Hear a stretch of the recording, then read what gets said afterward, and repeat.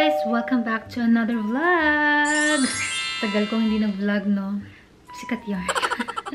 anyway, nakikita niyo naman sa ating title kung tungkol saan yung vlog natin today. So, mag-story time tayo. Yes, it's a big, big yes. We are finally pregnant! Yun. Laki na ng tiyan ko, guys. So, mag-story time tayo tungkol sa ating pagbubuntis. Wow. So, hindi ko alam kung paano magkwento, guys. Hindi ako magaling magkwento pagdating sa, alam mo yun, sa camera. Camera lang. Pero kung sa personal, magaling ako magkwento. Kasi syempre, alam mo yun, may tao ka talagang kaharap, ganyan. Pag camera kasi, sarili ko lang yung kausap ko, ganun. Anyway, Tsaka magpasensya yung boses ko ah. Kasi simula nang nabuntis ako, ano, para akong na ano, na namamaos, ganun. Tapos ngayon, hinihingal na ako. Hinihingal na yung lola nyo. So, simulan natin kung kailan ko nga nalaman na buntis ako. So, ano, nalaman ko na buntis ako nung July 2023. Ibig sabihin, malapit na ako manganak. Ilang araw na lang, manganak na ako. So, nag-vlog ako ngayon para may remembrance ako dito sa YouTube ko habang malaki chan ko, guys. Habang, alam mo yun, bondat pa ako. Though yung mga recent vlogs ko, guys, simula nung mga December hanggang nung January na upload ko, buntis na ako noon. Um, hindi lang siya halata talaga doon sa video. Pero, syempre, kung ikaw alam mo na buntis ako, ah, mahalata mo talaga na malaki yung chan ko. Hindi naman sa sekreto yung pagbubuntis ko, guys, ha. It's just that, ano lang, naka-private lang siya Ilan lang yung nakakaalam na buntis ako. Pamilya ni George na ilan lang naman sila, tatlo magkapatid, tapos yung parents niya, tapos mga kaibigan niya na ilan lang din, bilang na bilang sa daliri. Yun. Tapos sa side ko naman, hindi rin alam ng mga kapatid ko.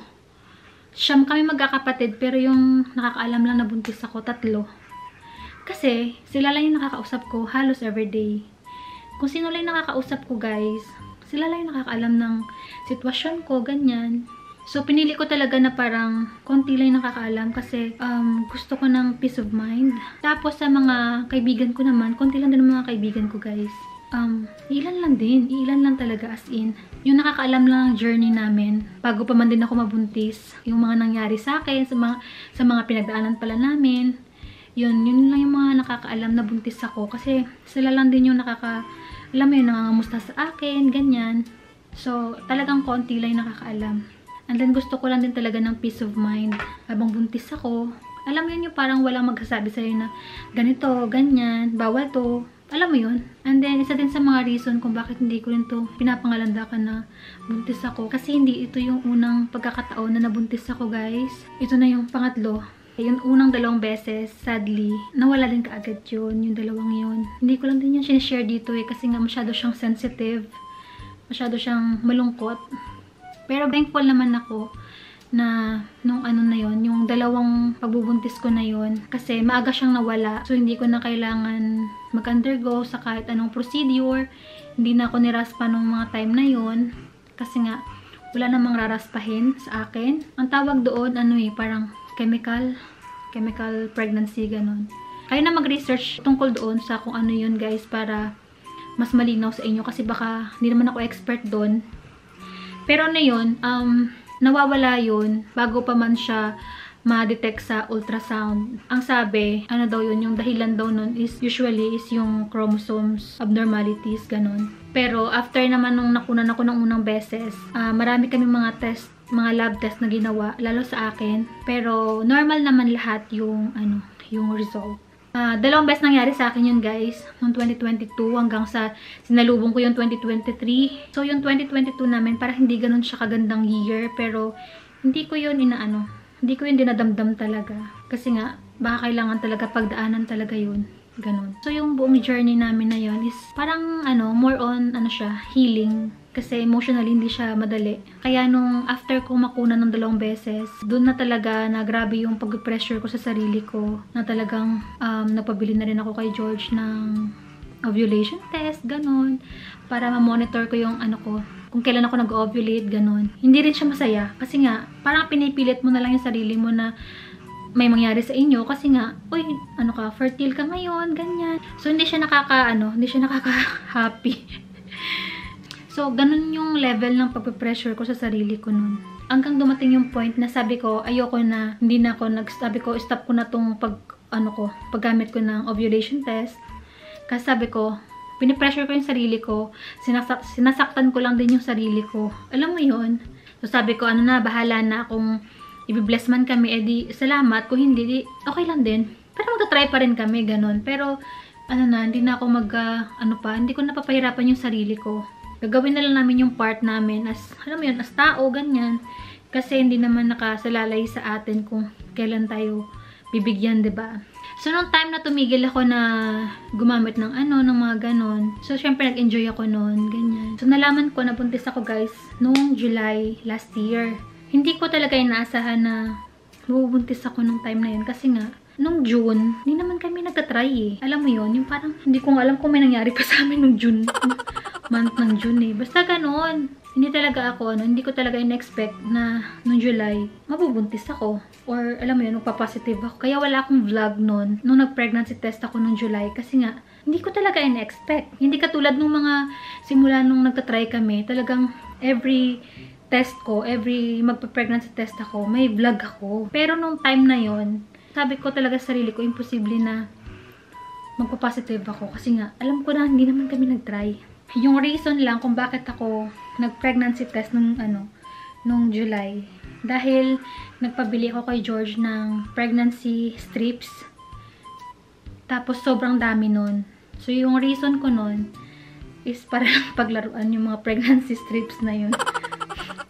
Kasi ang dami. So, yung unang araw na na-pregnancy test ako was July 17. Ano yan eh, after ko mag-breakfast, sabi ko, ay, mag-try kaya ako mag-pregnancy test. At nung time na yon bali, ano pa, meron pa akong one week before uh, nung expected, ano ko, date of period ko. Papakita ko dito yung picture, guys, no? Kung ano yung itsura niya.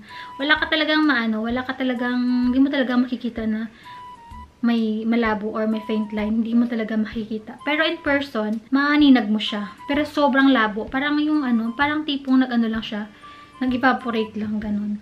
Ganun lang yung itsura niya. So, nung kinabukasan, July 18, pagkatapos ko na naman mag-almusal, naisipan ko na naman, sabi ko, mag-pregnancy test ako. kasi nga, nakukurious ako dun sa una kong test. Kasi nga, in person nga, makikita mo nga ano yung parang sobrang-sobrang labo na linya. Pero, hindi mo talaga din iisipin na positive yun or alam yun na pwede siyang maging positive, ganon. Hindi, hindi pa rin ako na-vlog nun guys kasi nga hindi ko talaga in-expect na ano, na magiging, alam mo yun, magiging positive siya, ganyan. So, noong July 18, after ko na naman mag-breakfast, magkape, lahat-lahat, nag-test na naman ako. Nagulat ako kasi nga, nag-darken yung line. Medyo nag-darken na siya. Pero natatawa lang ako kasi nga, hindi ko talaga siya dinidibdib na positive na talaga yun, ganun. Tapos, after ko nga mag-test, nung tanghali, pumunta na ako dun sa shop. Tapos sabi ko pa kay George, nag-test ako kanina, pero hindi ko sasabihin, ganyan-ganyan. Kasi ayaw niya, ayaw niya rin nung ano, sasabihin ko sa kanya na malabo. Ayaw niya nun. Gusto niya, kung magte-test man ako, gusto niya yung sure talaga na positive, ganyan. And then, the next day, July 19, umalis kami ni George. Tapos pag uwi namin nung tanghali, nag-test na naman ako kasi na gusto ko nga, ano, gusto ko nga malaman. Curious nga ako kung magda-darken pa yung, yung linya na yun. And, ito na yung result niya. Talagang positive na yan. ba diba? Kasi nga, nag-dark na talaga yung line. Sabi ko kay George, positive sabi niya sa akin, gamitin mo na yung digital. Kasi aside sa uh, pregnancy strips na binali niya, nagpabili rin ako sa kanya nung clear blue na, ano, yung 2-in-1 na clear blue, yung laman nun is yung digital, tapos yung isang parang cross lang, ganun. So, gamitin mo na yung digital, sabi niya ganun. Sabi ko pa nga, ay wag na bukas na lang sa umaga para sure talaga. Sabi niya, hindi ngayon na, ganyan, ganyan. Para kung in case nga daw na positive, makatawag na kami sa OB namin, kung ano yung kailangan namin gawin, ganun. So, nag, ano, nag, nag-test ako nun. And wala pang 1 minute, lumabas na. Wala pa rin akong vlog nun na, hindi ako nag-video nun. Kasi nga, wala, hindi ko alam eh. Parang, kada, inisip ko kasi kada mag-video ako about sa pagbubuntis, parang na, na siya may ganun. Hindi ako nag-vlog pa rin nun guys. Kasi gusto ko rin i-cherish yung moment ko na yun lang, nakafocus lang ako dun sa pregnancy test, ganyan. Hindi dahil may camera or what. So, wala pang one minute, lumabas na yung, tada! Na na siya.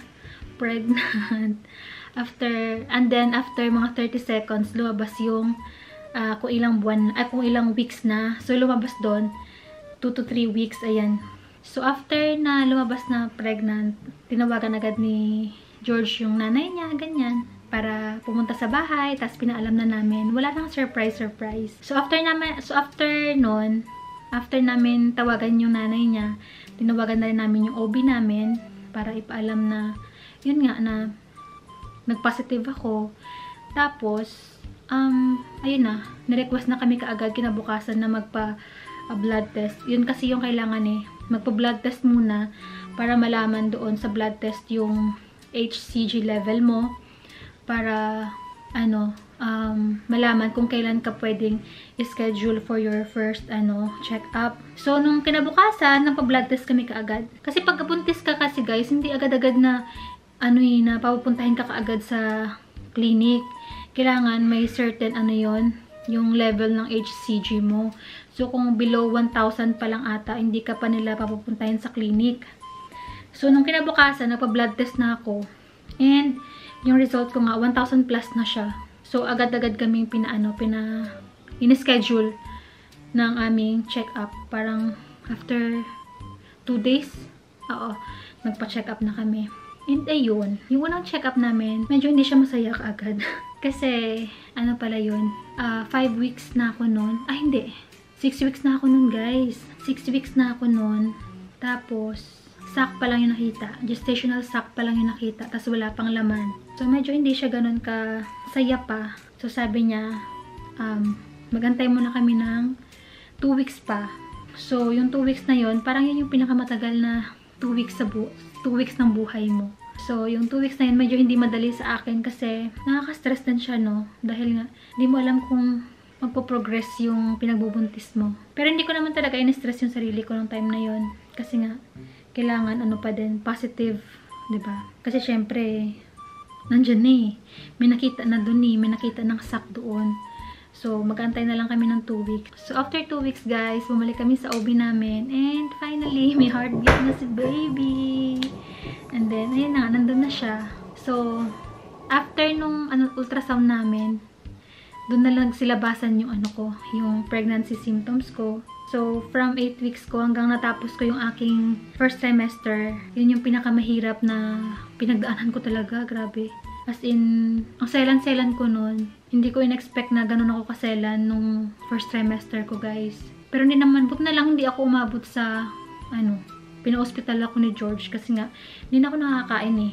Yung suka ko, simula pagkising ko sa umaga, hanggang hating gabi na yun. Nakakapagpahinga lang ako sa suka pag nakakatulog ako. Akala ko medyo maging madali lang yung ano ko, yung journey ko ng first trimester. Pero talagang pina-feel talaga sa akin na ayun na, buntis ka na. Yan na yung inihiling mo. Ganon. Pero kinabahan ako ng first trimester ko guys kasi nga wala akong kinakain. Yung kinakain ko lang noon ay kanin na plain tapos, ang nauulam ko lang talaga is itlog lang din. Na gusto ko lang plain lang. Basta wala yung mga mantika, ganun, walang sauce. Tapos, skyflakes, yun yung kinakain ko nung time na yun, guys. Para lang may maikain ako. Tapos, nagtutoast ako ng sliced bread, ganun. Tapos, nilalagyan ko ng honey. Ganun lang talaga yung kinakain ko nung time na yun. Kasi nga, hindi, ano eh, uh, sinusuka ko din siya kaagad. And then yun, pero pag tungtong ko naman ng second trimester, na wala lahat yun, doon ako bumawi ng second trimester ko. Kaya kahit pa paano may vlog ako ng mga time na yun. Kasi nakakilos na ako noon, nakakabangon na ako, wala na ako, uh, hindi na ako sumusuka, ganyan. Maganda na yung pakiramdam ko noon guys. So hanggang sa pumasok naman tayo ng third trimester ko, medyo, yun na, iba naman yung parang pakiramdam mo, di ba? Yung medyo iba na yung stage ng hirap naman. Pero naman mahirap na mahirap. Ngayon lang ulit ako nahirapan kasi nga malapit na ako mga anak guys. Anyway, papakita ko sa inyo guys yung ano, yung aking chan. Ito yung gamit ni baby na iba. Ito yung kanyang bathtub, tsaka ito yung kanyang uh, sterilizer. Diyan lang yan muna kasi wala kaming space. So, papakita ko sa inyo kung ano, kano nakalaki yung chan ko, guys. Para may idea kayo na mga anak na talaga ako very, very soon. So, ganyan nakalaki yung chan ko. Ayan. Oh. So, ganyan nakalaki yung chan ko, guys. Nakakapagod na siya, no? Hindi na ako nakakatulog sa gabi. Natutulog ako ng alas 3, alas 4 ng umaga. Nung bumabawi ako kinabukasan. Hindi dahil nagpupuyat ako. Dahil hindi talaga ako nakakatulog. Kahit anong pikit yung gawin ko, hindi ako nakakatulog guys. Kasi nga, masakit na yung ribs ko dahil nga wala nang space si baby. Kailangan niya na talagang kumawala sa tiyan ko. So, yun na yung ating kwento. Hinihingal na ako guys. So, uh, next kwentuhan naman natin. Sasabihin ko sa inyo kung ano yung gender ni baby. Pero you can comment below kung meron kayong hula. Kung anong hula nyo. Kung baby girl ba or baby boy. Pero next, ano ko na yun, next uh, uh, kwento ko naman na yun i-ano, sasabihin. And ipapakita ko sa inyo yung mga ano, yung mga gamit na nadalhin ko sa hospital. So ayun, hingal is real, 'di ba? Anyway guys, so ayan, comment below kung ano yung ano nyo, hula nyo sa gender ni baby. Hindi ko muna sasabihin para meron pa tayong uh, pagkakwentuhan next time. Next time naman kasi hiningal na ako, tsaka mahaba na tong vlog ko. Anyway guys, yun muna yung ating vlog for today. Next time na lang ulit. Dahil nihingal na ako. So thank you guys for watching. See you next time. Bye!